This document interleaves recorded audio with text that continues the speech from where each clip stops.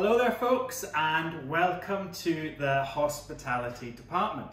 My name is Daniel Laud. I am the program leader for the SVQs in professional cookery that we deliver here.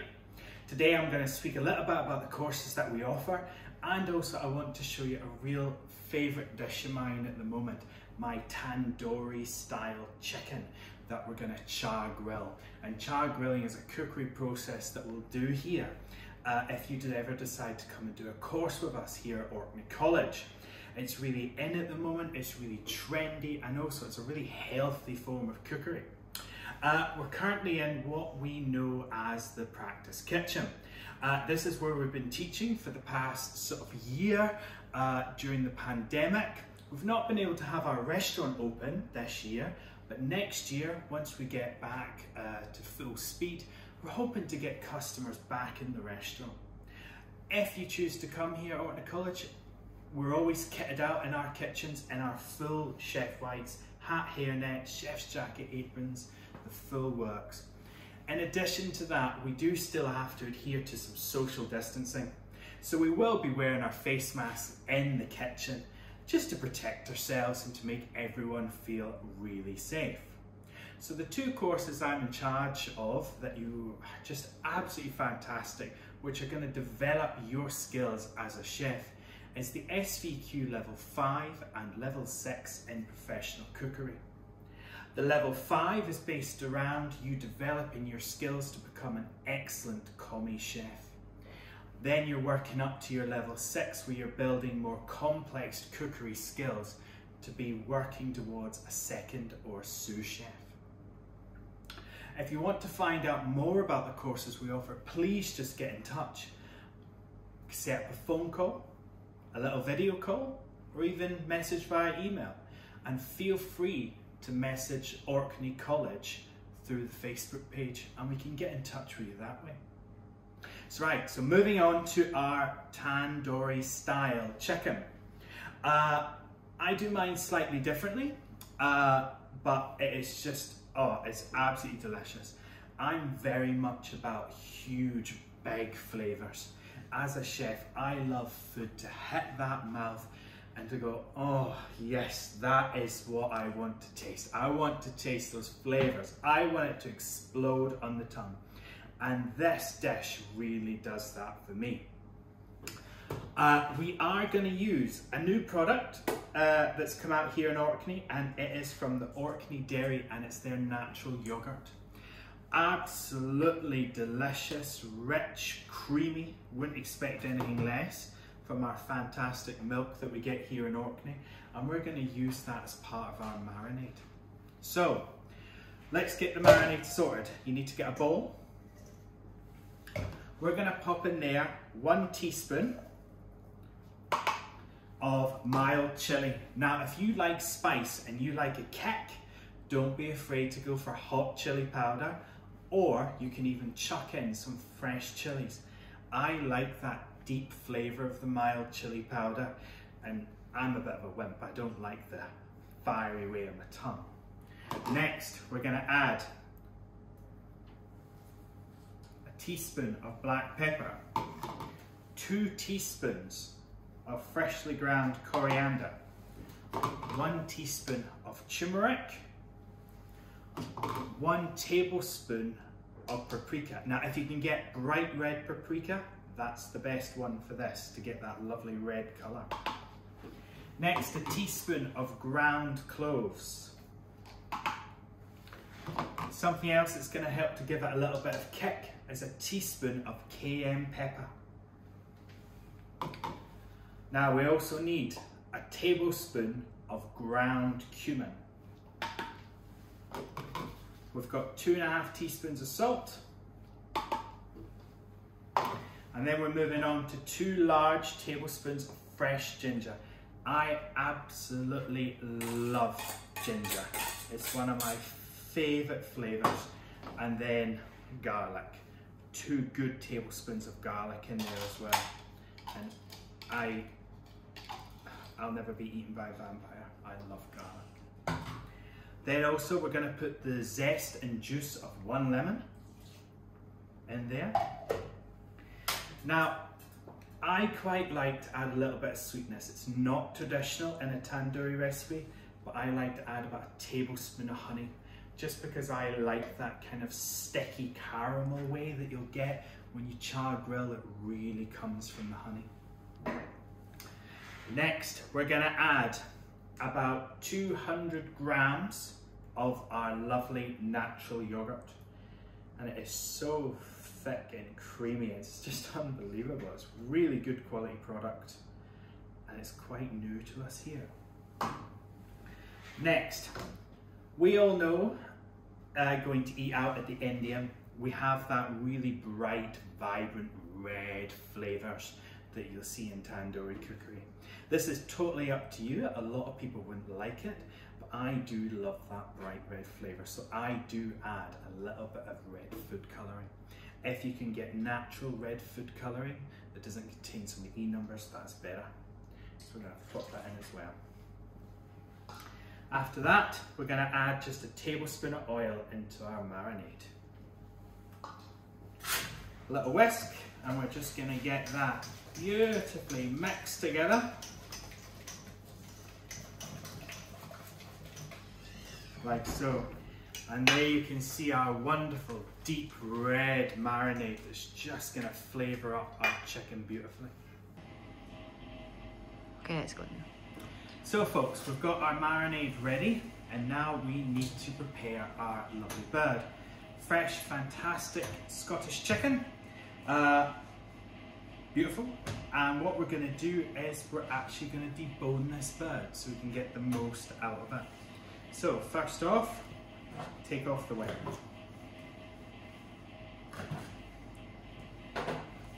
Now we're going to just debone the bird into small portions uh, so we can char grill it and get the most kind of out of it. First off we're going to take off the leg, so cutting through, down the chicken, down the side of the leg,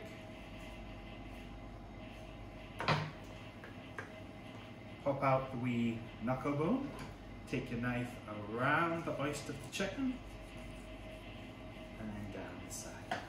And there is our first leg removed next leg.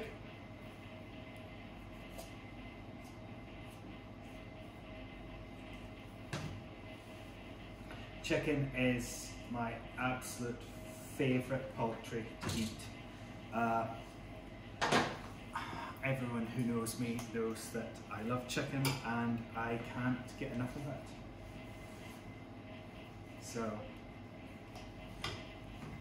Come on there, come through that bone, it's fine, grand. Second leg there ready. Next, I would like to try keep as much bone on the carcass as possible. Taking the knife down, then just going to use the scissors to cut through it and almost kind of spatchcock the chicken. If you wanted to spatchcock this chicken and marinate it whole spatchcocked, you could, that would be absolutely delicious and there'd be nothing wrong with it whatsoever. So that's just the backbone there. Next, what we're going to do is push this chicken down and get that breastbone nice and flat. So you see, that's what we would actually call a chicken crown, and you could roast that crown. Taking our knife through the bare breastbone, we're just going to cut this chicken in half.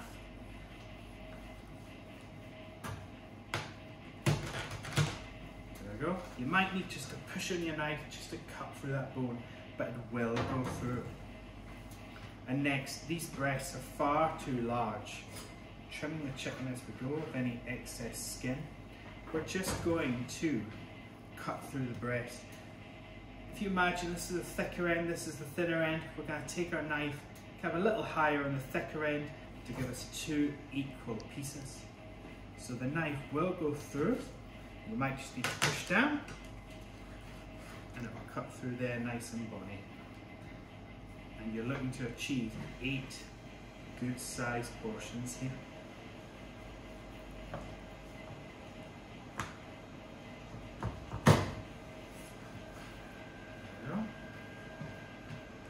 Now,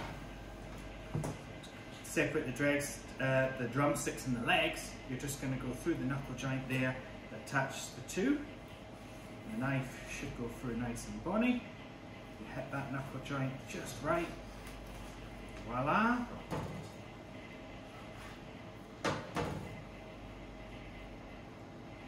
Trimming off any excess skin as you go, because not many people like too much skin on their chicken.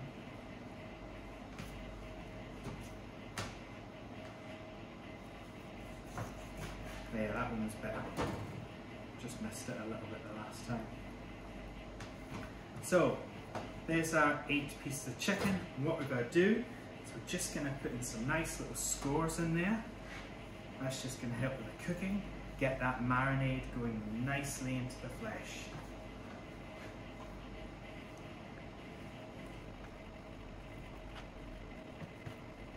Now, ideally, you'd want to marinate this chicken overnight, okay?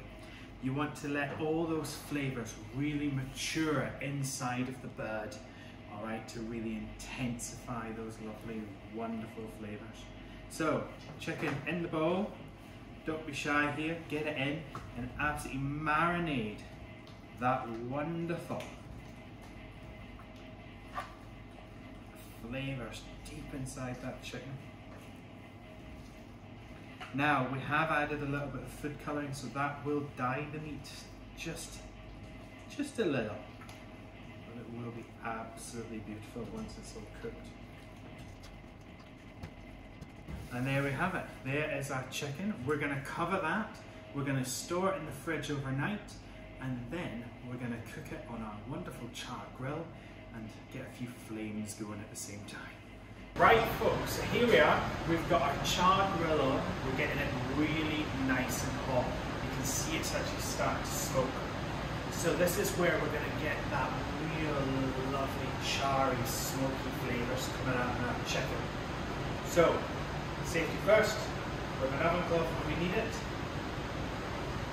We've got our tongs. We're to place the chicken back to front. So we'll probably see a few flames.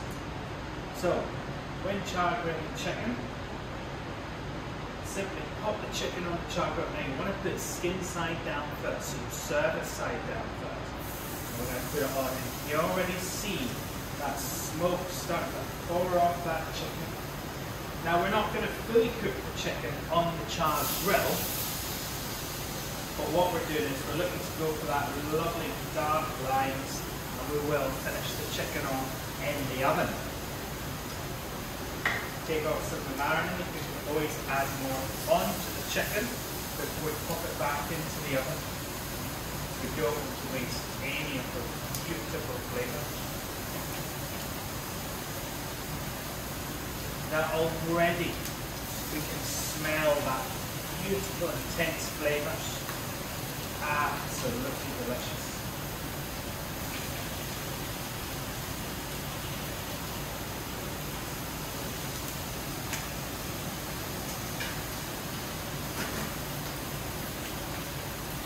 Now something I do like to do is I do like to give a little squeeze of lemon, a little bit of freshness on there, just to help with a bit of flavour.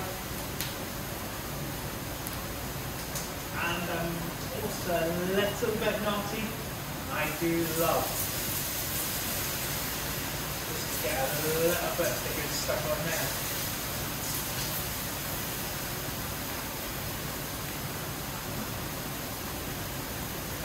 little bit of uh, my off just to help with of flavour.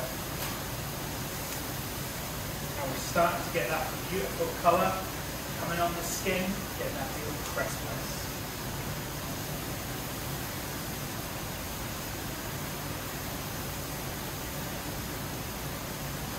Are you ready?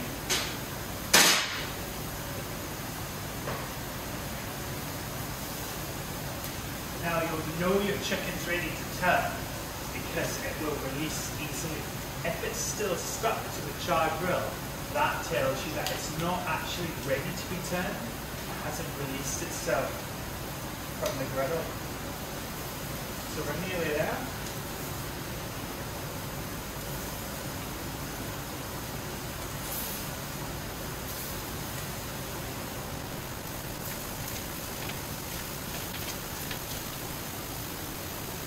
I've already achieved, if you can see there, that lovely black charred road lines, and that's exactly what you're looking for. That's going to really hit.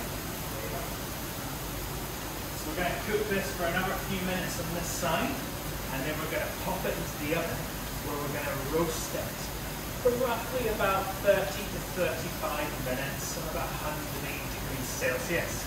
We'll roast it up so it's still nice and juicy, but we want that skin beautiful and crisp.